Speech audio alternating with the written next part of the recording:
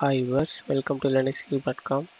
Today we are going to see about how to install Shotcut Video Editor on Linux Mint 18.3.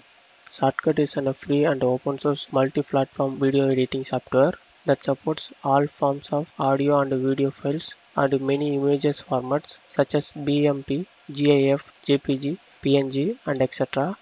Okay, now let us see how to install Shotcut Video Editor on Linux Mint 18.3. Okay, first of all we have to add the repository of Shotcut Video Editor using by PPA. Click enter and continue. Then before starting our installation, you should update our system repository using by apt-get command. The update is going on. The update is complete now.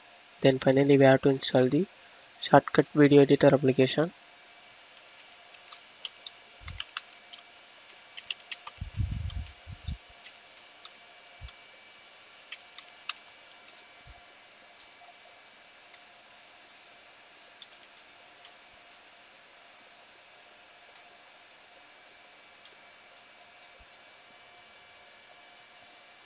The installation is complete now.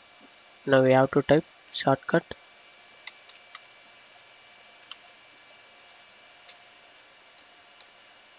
the application is shown on the screen. Now you can able to use this application. Now we have to check the version of shotcut video editor.